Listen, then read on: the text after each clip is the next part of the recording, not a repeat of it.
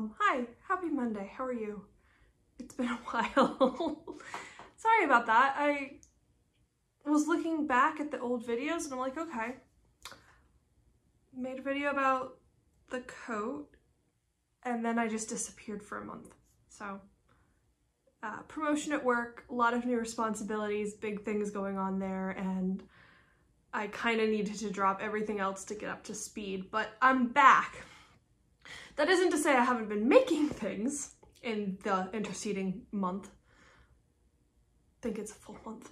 Um, I have been making things, which then leaves me with the trouble of I have so many things to show you, but since we don't want this to be a 45 minute long video, I'm gonna make this quick. Also, forewarning, I'm not gonna talk about my coat because I have, I made my I'm not gonna talk much about my coat. I made my toile, I fitted it, I fitted it again, and I'm pretty darn happy with the mock-up, but I haven't made it any further than that. And I feel like that entire process kind of deserves its own video because there's sort of a lot to go into there. So yes, I'm making progress on it. No, it's not done and I'm, it's not gonna be in this video. So maybe the next time. I have making other things though. I just realized I made a blouse and a bunch of ma matching masks in the last few weeks too, and I do not have that on my pile of things to show you. Um, but that's all right. I've made other things, but I have four projects to show you today. So number one, we're gonna start with tis the season for Rhinebeck sweaters again. So I have a group of friends and we go to the Rhinebeck Sheep and Wool Festival every year. It's become an every year thing. We've only gone, I think, twice. This will be our third year. But one of my friends had this fantastic idea of people make a lot of matching sweaters to go to Rhinebeck with their groups, but it's usually the same pattern. But it's not necessarily easy to tell when a group is together just if they've knit the same pattern because like in any other community, different patterns are really popular at different times, so you can see a lot of them. So just because, you know, five people have all decided to make the same pattern doesn't necessarily make it obvious that, oh, they're a group. But we saw somebody who their group had made all different patterns, but with the same yarn. So it was super obvious that they were together. It was very planned and especially cool because like everyone can agree on a color and then you can make whatever pattern you want. So we loved that. And last year we kind of tied it into the Webb's Yarn Store Super Bowl party that we would all buy our yarn at the Super Bowl party together and then we'd have knit it for our Rhinebeck sweater. So very, very tied into the year of knitting for our friends group. Of course, Rhinebeck for 2020 was canceled, so we still finished our sweaters and we had a photo shoot um, outside and behind the senior center in a big open field. But we have our matching sweaters. And this year, we decided to order again and do it online because we still want matching Rhinebeck sweaters. And we all chose, we chose this lovely dark purple yarn. Oh, this is also sweater I'm knitting. But really dark purple yarn. It's beautiful and I'm going to knit the Knitorious RBG. I'll include a pattern link below. So this is, I just ran out of yarn a minute ago. This is uh, my first skein of knitting done for the Rhinebeck sweater for 2021. And there will probably also be mashing masks this year, which will be a whole nother realm of fun of we'll all get the same purple fabric and then, you know, fancify it as we will.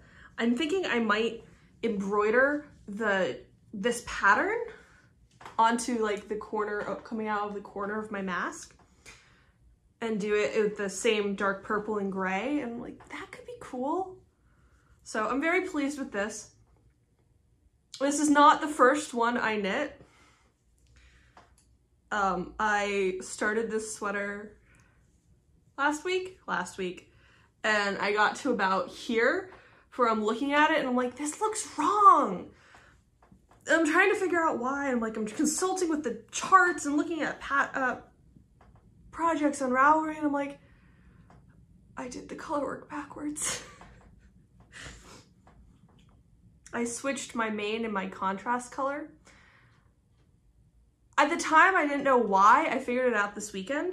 So in most knitting charts, colorwork charts, your contrast color, the, the pattern color, is portrayed on the chart itself with black boxes.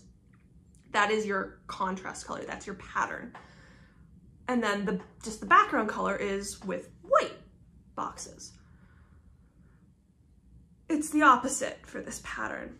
And it makes sense because this pattern is knitted, it's made in tribute to the notorious Ruth Bader Ginsburg and her black robes with her famous white collars. So the pattern and the vast majority of the projects are knit black background with white contrast. So although the chart makes sense for the pattern, it messed with my brain because my brain is telling me that the black is the is the pattern and the white is the background. So I ripped it out and reknit what I had done and I am now making better progress. I also knit a good chunk of this yesterday while I was watching um, a new documentary series, docu-series on the 14th Amendment, which felt, there's a whole section that talked about Ruth Bader Ginsburg. So I'm like, hey, perfect timing. So that's what I'm knitting. Um, it's a couple of sewing things. So the first one is new dress which in this light looks like a very orangish red because I have warm light bulbs in my house. It is not, it is very much a cool toned blue red, but super pretty. And I found myself wanting some more um, structured dresses, especially for work. I find them a little bit easier to make them feel work appropriate, a little bit dressier, um, especially as part of that new promotion is a bit higher status and like need to dress a bit nicer for work. So I'm like, I can make myself some.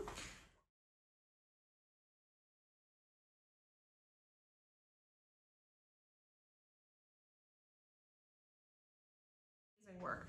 But she had made this fantastic 1860s work dress, but like she chopped it up so it was like mid calf and it was made out of um, this bleach stained denim and like was rocking it with the Timberlands and some fantastic big hoop earrings and it was just the best combination of history bounding but still modern and it made my heart go pitter pat. So while I am a much more um, quiet fashionable person, I went for just solid fabric, but it did make me realize that you can in fact rock an 1860s dress in the modern day. So that's what I'm making. And it's got these fantastic kind of poofy sleeves, which I haven't put the buttons on, so I can't really show you fully. But fantastic sleeves. And it also has, it's gathered at the waist and at the back. So it would be helpful if I could show you a picture. I'll show you a picture when it's done. So it's really flattering and then you just sew it into a fitted liner. And I had this fabric, this fantastic wild fabric for years. And I'm like, that would be a fun project for it. So I'm working on that. The bodice is really the thing that takes the most amount of fiddly time, especially like setting in sleeves. The skirt's pretty quick. The biggest thing is gonna be its long seam, so like it'll take a while to put together into hem. Hemming always takes forever. But then I'm very excited about it. Although, I need your input. Traditionally, in the period, this wouldn't have an attached collar because you would have used interchangeable collars which is great. And they were typically white or lacy, something like that. But because this is a modern dress, I'm going to make it with an attached collar. But should I make it white or should I make it red to match the dress? I keep going back and forth and I can't decide. So I would love some input on that. Um, I just can't decide. Yesterday I was really sure I wanted it to be white and then today I'm back to going, but the red would maybe be a bit more subtle. I don't know. So that's in progress. I'm very pleased with it. And the fabric has a little bit of, um, a little bit of stretch and weft weft. So it's a very comfortable material, but it's also heavy enough to give the shape and really stand up. So I'm thrilled. And then, okay, we've talked knitting, we've talked sewing, let's talk embroidery. So remember, um, I don't know, November, December, I made that fancy bathrobe to kind of just wear as like an over garment, really cozy for at home. Can wear it as a coat, can wear it just like as a sweater. I decided it needed embroidery. And because I had done the embroidered Christmas ornaments, I was introduced to this magical material called Sulky Stick and Dissolve, I think it is. But it is a printable interfacing that you can just run through your inkjet printer, print off your pattern, peel off the backing and stick it to your fabric. Then you do your embroidery and you just soak it in water and it disappears. Amazing, it's magic. So, taking my jacket, I started embroidering. So that's the very center back. And now I'm working on another mandala kind of on the shoulder and then onto the sleeve. And I put two swallows at either collarbone. So it used to be, the swallows kind of have symbolism other than I just think they're lovely but it used to be um, sailors would get a swallow tattooed for every 5,000 nautical miles they traveled. So to have, and you would have one on either collarbone, a little bit below your collarbone, and they're supposed to be able to guide you home because a swallow can only always find its nest. So I thought that was pretty cool, and while I'm not a sailor, I have traveled many a mile, and I just like the symbolism of they can always guide you home.